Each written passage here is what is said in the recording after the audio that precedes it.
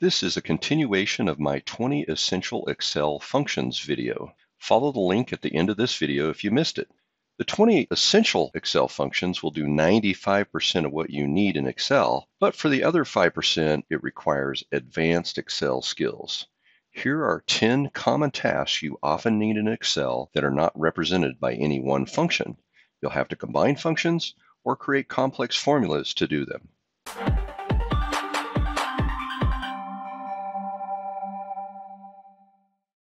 Welcome to Sele Training. To get you started on the 10 advanced Excel functions, please download the reference guide listed in the description below this video, which is available from the seletraining.com website. You're welcome and encouraged to copy and distribute this spreadsheet. The reference guide has a separate tab for each Excel advanced function. It includes a name and description of the advanced function, a link to the specific point in this video where the advanced function is explained, a sample list of values and their results, additional notes, and links to additional help on the Microsoft Office support site for each function used. Let's get started. Nested if. The if function lets you choose between two binary choices. But what if you have three or more? That's when you need to do a nested if. For example, let's do an if function when this is greater than 10,000 we're going to have it pick good. And I'm going to hit F4 to lock that in as an absolute reference. But when it's not, we actually have two other choices. So I need to do a nested if and check this condition again when it's greater than 5,000. We're going to make it fair, F4, and everything else we're going to make poor, F4. Now make sure that you put parentheses in the right locations. That's one of the challenges when you have nested if. And there you have a nested if function. Index match. When you combine index and match together, you get a function very similar to VLOOKUP, but with more flexibility. For example, let's start with match. If we want to match the name Jim in this list, and I'm going to hit F4, and I want to do a zero for an exact match, you can see that it returns the fourth row from that list that I selected. Now let's take the index of this entire array, F4 to lock it in, and choose that row number, and I'm going to select the value from column 2. And you can see that it returns the value from the second column matching Jim in row 4. The index and match functions are very powerful when you combine them together, and the flexibility comes because you can use wildcard characters for the match, and it ignores upper and lower case. That's a little bit different than the way VLOOKUP works. Index match also lets you insert a new column in the middle and it dynamically adjusts the column number, whereas VLOOKUP, you'll have to edit the formula to correct it. Extract domain. Let's say we wanted to take the domain name out of an email address. Well, I can do that with the right length and find functions. I'm going to take the right portion of this email address, and the number of characters that I'm going to remove is the location of where the at is plus one. Well, that location is based on the length of that minus where we find the at symbol in that text. And there you go. Now you could remove the name from the email address as well by using the left function. So we want the left of this email address. And how many characters do we want? Where we find the at symbol in that text, minus one. Choose random. We can combine the choose function and the ran between function in order to assign a random choice from a list to these list of values. So first off, let's take a look at the ran between function. This lets me choose between two sets of numbers. And you can see that it randomly selects between 1 and 3. Well, I'm going to add to that the choose function to randomly select between 1 and 3 values from here, here, or here. Now the key is I need to F4 to lock these. And you can see that it assigned a random 1. When we copy this down, it randomly selects from the other choices. A key with a rand between is that it will change the result anytime you refresh the data. So if I were to recopy this down, you can see that they change. So every time you refresh your spreadsheet or recopy data, it's going to randomly select again. Count words.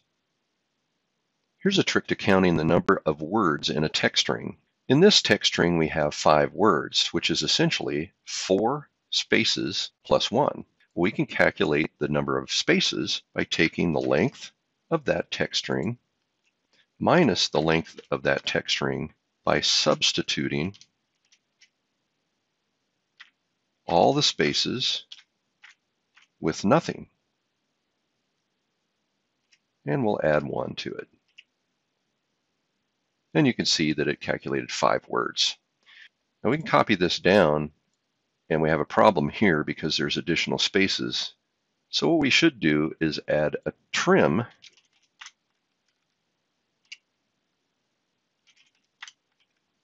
to remove all the extra spaces before we do the calculation. And it calculates correctly. Now we can do a little bit more complex calculation by trying to find the number of words in a multiple sets of strings. And in order to do that, we use the sum product. And we'll put it around essentially the same formula. So we're going to take the length of the trim, but this time we're going to pick both text string values. And we're going to subtract the length of the substitute of both text strings, replacing the spaces with blanks and adding one and in parentheses for sum product. And that correctly counts the number of words in a range of text strings.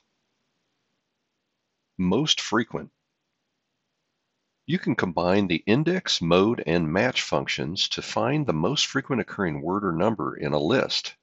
Let's start by taking a look at the entire formula. You can see that it uses index, mode, and match for the range B7 through B13. It's also got curly brackets, which is an indicator that I've used Control Shift Enter to enter it as an array. Now let's take a look at each component. If I do the match of this range as the lookup value, and I'm looking them up in the entire array, and an exact match. If I hit F9, this will show me the values in the array that are calculated from that formula. So you can see that it's 1, 2, 3, 3, 2, 1, 3. That means that John is number 1, James is number 2, Sally's number 3, Sally again at 3, James at 2, John at 1, and Sally again at 3. So it's assigning a unique number to each value in the data set. I'm going to hit Control Z. That returns me back to my match. Now if we take the mode of that same value and hit F9, you can see that it chooses 3. That means that Sally, the third value in the list, is the one that's the most frequent. Control Z. Now all we have to do is apply the index for this same range with option 3 that we've selected from our mode and match in parenthesis, and then Control Shift Enter to enter it as an array. And there's our result offset sum. You can combine the sum function and the offset function to sum an array of numbers starting at a reference point. Now the key is this is an array, so we have to treat this a little bit differently. So first off, let's take a look at the offset function. Offset asks for a reference point. I'm going to choose the upper left corner, and then it wants to know how many rows down, which will go down one, and how many columns over, one. Then it asks for the height and width. I'm going to choose seven rows high and one column wide. Now, if you hit F9, you can see that the results of that function show me every value in that first column. Control Z takes this back. I'm going to wrap this in the sum function so that it sums everything in that first column. And you can see my total matches the total here. So it's calculating correctly. And we can take this a step further by adding the match. So I'm going to take this A6 and make that a absolute reference. I'm going to copy this formula down to the next line. And on this line, let's add the match. So instead of column one right here, I'm going to have it select the match of this lookup value in this range.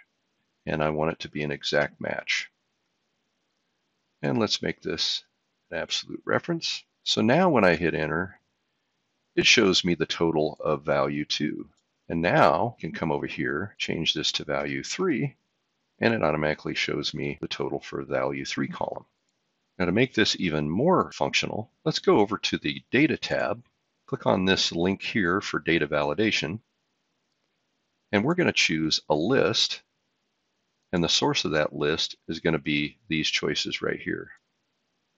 Hit OK, and now I can select value 1, 2, 3 from the list, and you see that it changes based on my selection. And you can see the power of the offset sum combination. You can also use average and other array formulas instead of sum. Sum in rows. Let's say we have a list of values for Monday through Friday dates, and we want to sum the weekly totals. Well, we can use a combination of the offset sum functions and the row function in order to do this calculation. Let's start by putting in the sum of the offset and the reference point we're going to start with is C7. We want to lock that so it's the same regardless of the week. For the rows, we're going to take the current row minus the row of C7, and I'm going to lock that in, and we're going to multiply that times 5. Now what that does is on row 7, minus row of C7, which is 7, gives us 0 times 5 is 0. So our row offset is 0 to start with. But when we move to week 2, it's going to be row 8 minus row 7, which gives us 1 times 5. So that means that we're going to offset 5 rows. For the number of columns, we're going to stay with the current column, so I'm going to put 0 in there. And we're going to sum 5 rows in one column wide. And you can see the first 5 Monday through Friday, sums to 48. Now that we copy this formula down to week two, you'll see that it now copies Monday through Friday for a total of 65. And that's how you do a sum of in rows formula. Last value. By now you already know that you can look up a value in a list with VLOOKUP or index match and return data from the second column. But how do you find the last occurrence of a value in a list? This is an advanced Excel challenge. Let's say we have a list of names with a set of values associated with them. I want to find the last occurrence of James in this list. And you can see there's three of them with the last one on row 14. In order to do this calculation, we're going to need to do an array formula. So I'm going to start with one of the core things from the array. I want to get the row for this set of data. And if I hit F9, you can see that it gives me 7 through 15, which is the rows for all those values.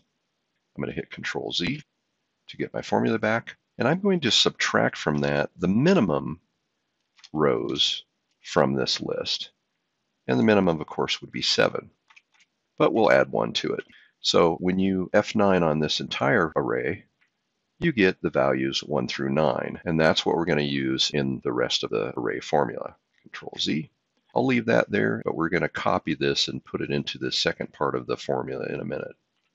Now for the rest of the formula, we're going to do the index of this entire array because we know that the index is what we can use to pick the row to show us the value from the second column. And the row number that we want to select we want to be the last occurrence of James in that list. So I'm going to use the max function where if this value equals James, then we want it to pull the row from the formula we created earlier. So I'm going to paste that in. And if it doesn't equal James, then we'll do nothing. So I'm going to leave that second parameter blank. And then for our index array, I want to return the value from the second column. So only when the array value equals James will the if function be true, in which case it's going to return the row number from the calculation that we did earlier. And we're taking the max of those values because it's going to find three occurrences of James, but we want the maximum one, which would be that row 14. So when I hit Control Shift Enter, it gives us our value 9, which is the third occurrence of James in the list. And that's how you get the last occurrence of a value in a list and return data from the second column. Indirect match. You can combine the indirect and match functions to dynamically gather data from a table. Let's first take a look at the indirect function. If I do the indirect of this cell, it gives me the value from B7. You can do the same thing with a range. So let me sum the indirect of that range, and it gives me the sum of B7 through B13, which is 34. Now you can also use named ranges. So I'm going to go over to the May section here, highlight it, go to Formulas, and define the name as this location. And we'll do the same thing for April. Now if I do the sum of the indirect of May, it correctly calculates May totals. 36. Now let's do a little more complicated calculation here by combining some other options. Let's do the sum of offset, and the reference is going to be B6, the heading for April. Number of rows we want to go down is 1, which takes us to the value 9. And the columns going to be where we match this name in this list and we need to subtract 1 so that we get it back to 0 if it's the current column. And the height is going to be 7 rows that we're going to sum up, and it's going to be one column wide. And that gives us the total for April by looking up the name April for the heading. So if I were to change this to May, it gives us the total for May. And this is how you can use the power of indirect and match and combine it with other functions. Hey, if you want to see more videos like this one, please subscribe. And if you've enjoyed this video, be sure to click the thumbs up and leave a comment. I really do appreciate your support.